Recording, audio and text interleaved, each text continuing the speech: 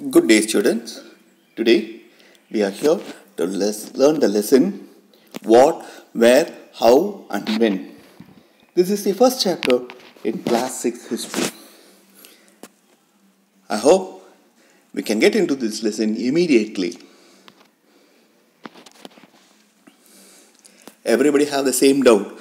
Why do we need to learn? What do we understand from history? The learning outcome of this lesson will be what is history? What do we get out of it? How do we do it? How did India get its name as India? And finally, we will also understand what is dates.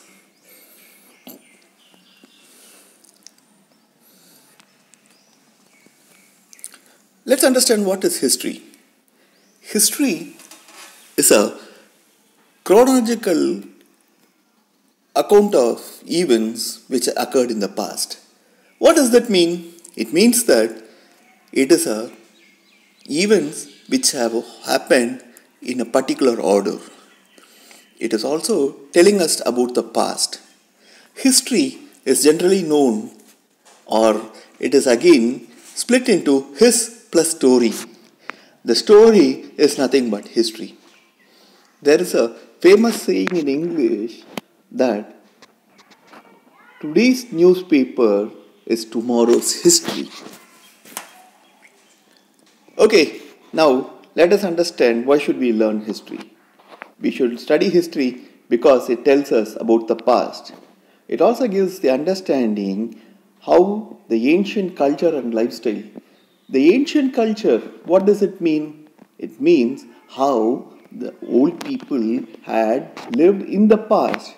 The lifestyle talks about how they have lived. It also understands to help the problems they had in the past and how they have overcome. In case if they have made any mistakes, it also teaches us how we should actually learn from that and do not commit the same mistake. What is the importance of history? The importance of history can be easily summarized about like the following. It tells us what the past kings, kingdoms, and society were. How the earlier kings, how they set up a big kingdom, and how people lived. It also tells us how what kind of food they had and the kind of dress they wore. It also tells us what kinds of occupations they were doing. It tells the great achievements, how our forefathers and the earlier ancestors, how they lived a life which we in now are actually paving for to live. It also tells us the mistakes they have made and how we can correct that. It also tells what kind of games they have played. We learn from history for a better future. So, this should be impressive that why we need to learn history and what is the importance of history.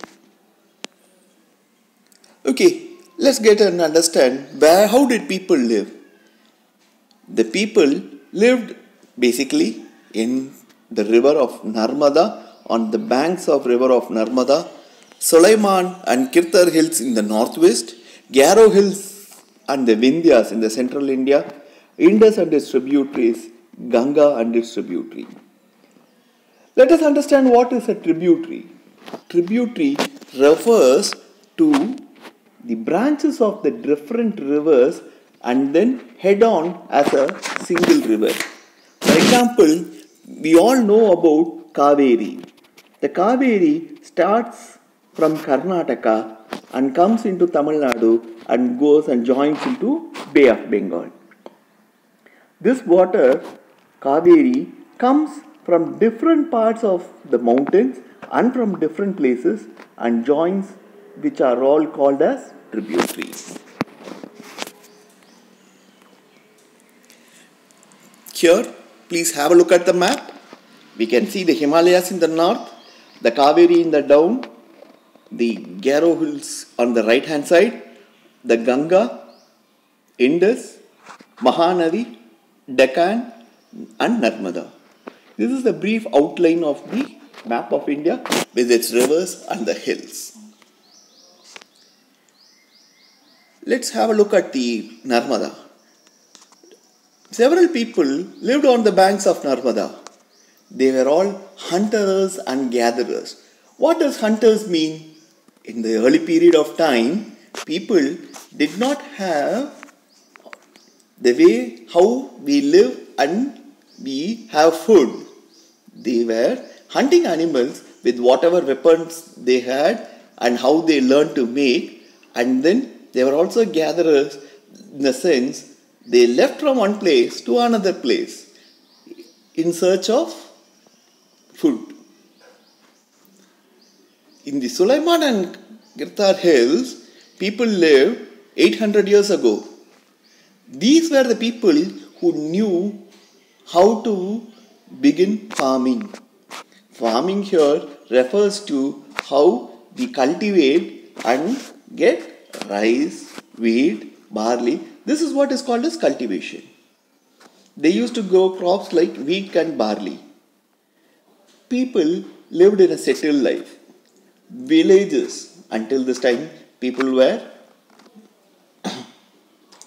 living in groups.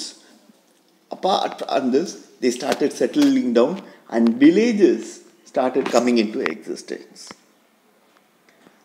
The people in the Garo hills and the Vindhyas were the first to grow rice. Uh, prior to that, we can understand wheat and barley were the only thing or grains which were available. On the rivers of Indus and distributaries, people started developing cities. This was 4,700 years ago. We started seeing bigger cities coming up on the rivers and the banks of Ganga.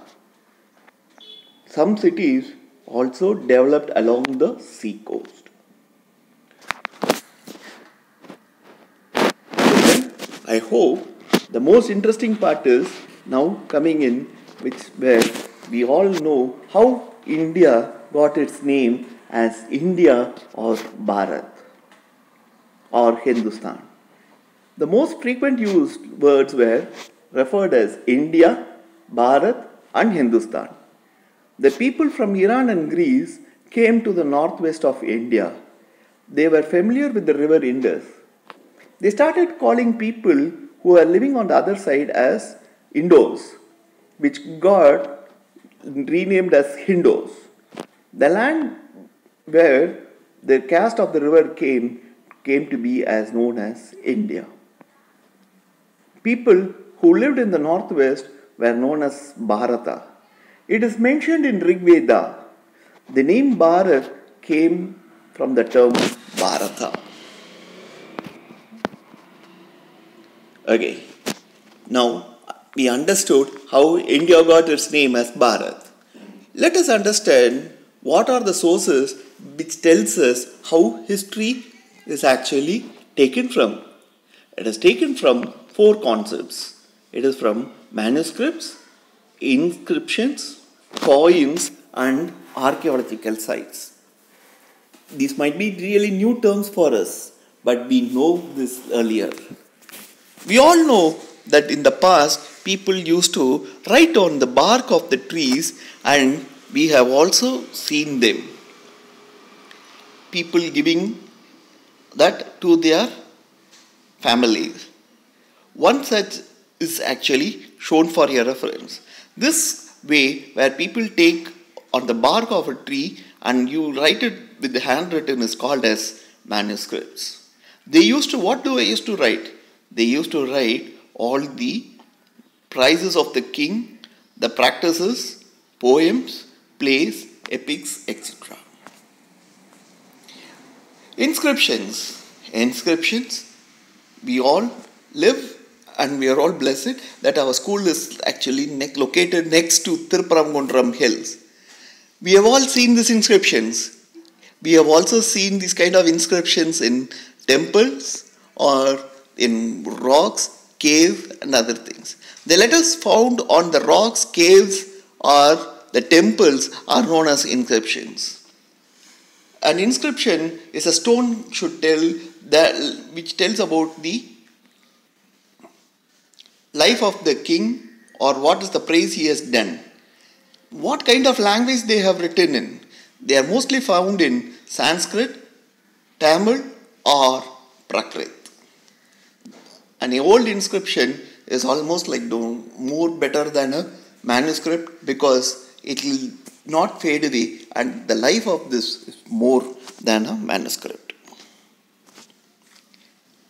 They also used coins uh, which will be used either made of copper or silver or gold. The coins were first developed in the ancient Greece and one such coin which is in silver is shown for your reference. They also tell us about the level of skills among the artisans, how people used the skill which they displayed during that period. A pot, which is almost 4700 years ago, is also can be seen in this figure.